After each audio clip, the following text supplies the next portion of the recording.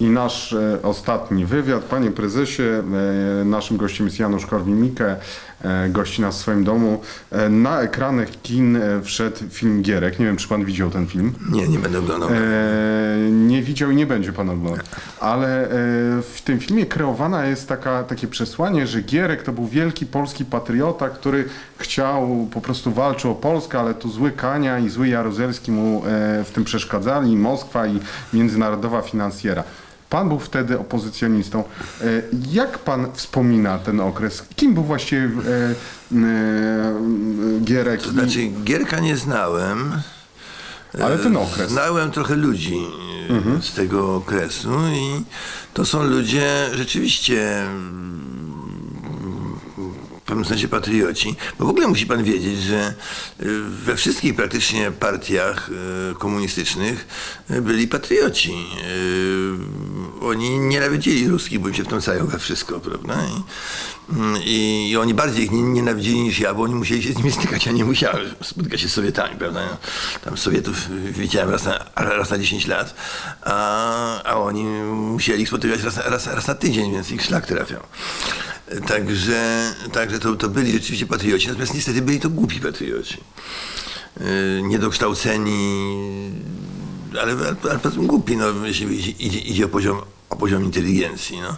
Yy, Powiedzmy, był taki facet, który był kiedyś w KC, takiej roboty, ja się nazywa, zapomniałem. Albin Siwak? Albin Siwak, prawda? No, Autentyczny patriota, prawda? Pisał natomiast natomiast to co, to, co on wypisuje, to, to z punktu widzenia ekonomistą to są ko- kompletne bzdury. On, chce, on chce jak najlepiej oczywiście, on chce jak najlepiej. Znajduje proste rozwiązania. No, ale przecież tym ludziom nie można, nie można dawać, bo to jest prawie jak PiS. PiS ma bardzo podobne zresztą poglądy do Alb- Albina Siwaka, mówiąc, mówiąc szczerze. Także, czy nie, nie, nie cały PiS, prawda, ale, ale coś, jedna trzecia, jedna trzecia pismenów ma, ma, takie same, ma takie same poglądy. Otóż, otóż ja, ja pamiętam kiedyś, jak to, to po, pojawiłem się w Urzędzie Rady Ministrów, gdzie można było wtedy wejść bez, bez nikakich. e, I, I wręczyłem tam rządowi 25 ślicznie pomalowanych e, gęsich jaj napisem Maneta Kelfares. Przyjęli to ode mnie, proszę sobie wyobrazić. Jeszcze, jeszcze parę lat temu któryś z tych członków rządu, który jeszcze żyje, wspomniał, że rzeczywiście przyjęliśmy ten jak był bardzo ciekawa inicjatywa. Przyjęli te. Maneta Kelfares, to ten rząd już tam, Babiucha wtedy był chyba, czy, czy ktoś tam. E, Problem, problem polega na tym, że rzeczywiście mm, Gierkowi y, to i owo przeszkadzało. Jar- Jaruzelskiemu zresztą też, prawda? No, proszę zwrócić uwagę, że załóżmy, że Jaruzelski w roku 82 byłby przekonany, przekonany do zrobienia czegoś takiego, co zrobił w o- o- 88, prawda? Czyli re- reformy Wilczka. No to prze, prze, prze, przeciwko temu byłaby tak, Solidarność, Kościół, Sowiety, wojsko, prawda, PZPR i, i co, co, co, co, tam jeszcze pan chce, prawda? Związki zawodowe oczywiście.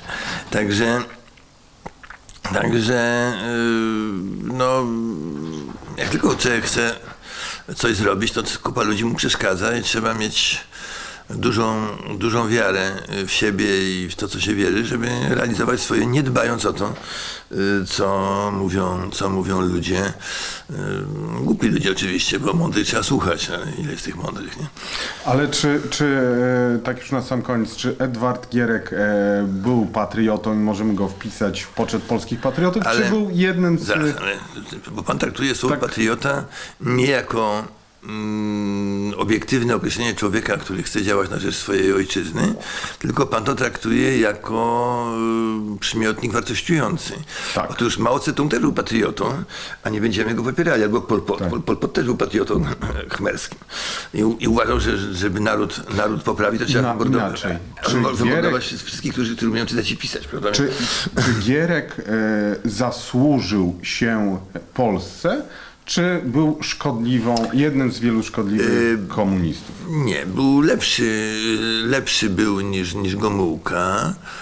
Był cał, cał, nie, było w Polsce tchu demokracji, w wyniku czego Gomułka był lepszy od Bieruta, Gierek był lepszy od tego, Rakowski lepszy od Gierka, bo nie było tchu demokracji. Teraz jest demokracja, więc każdy kolejny rząd jest gorszy od, od, od, od, od poprzedniego. To samo jest w Ameryce przecież, no, to, to co się dzieje, przecież to jest coś przerażającego, prawda? I to jest właśnie skutki tchu demokracji. Natomiast y, to, to jest lepiej. On na przykład nawiązał kontakty z socjalistami y, niemieckimi, prawda, to wbrew Moskwie. Zdecydowanie wbrew, wbrew Moskwie. Wtedy wielka, wielki wrzask, socjalizm jest dobry, a socjaldemokracja już nie jest dobra. Znaczy, ale socjaldemokracja ludowa jest dobra. Także to było strasznie, strasznie skomplikowane. E, Tutaj musieli się strasznie tutaj partyjni propagandziści musieli się strasznie namęczyć, dlaczego ten socjalizm jest dobry, a ten socjalizm jest zły. Jest zły. E, No y, i on prowadził tę otwartą politykę. Proszę zwrócić uwagę, y, Pan mówi, że on miał kłopoty we własnym tym. Oczywiście, że miał. Kiedyś chwycił mnie na ulicy facet, którego w ogóle nie kojarzyłem, był członek KC PZPR. I ja go poznałem kiedyś przez, znaczy poznałem go. On mnie widział, bo ja tam raz jeden w życiu poszedłem na jakieś zebranie przedwyborcze, zobaczyć jak on tam wygląda. Jako członek SD, bo jestem członkiem, byłem członkiem SD no, budząc wielką sensację, że mówię do ludzi per, per pan, a nie per towarzyszu. Budziło obudzenie tych ludzi.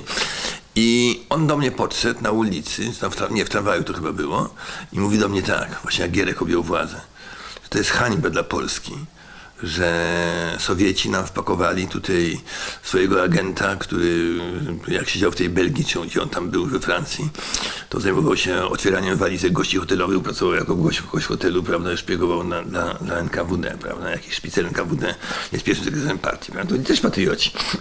także, e, także, mm, no, e, takie polskie piekło oczywiście. Natomiast, natomiast no, no niestety to nie, nie mogę chwalić Gierka i to, że yy, Jarosław Kaczyński w wyborach w- Sosnowcu, prawda, zrobił przemówienie, gdzie tutaj właśnie pochwalił Gierka.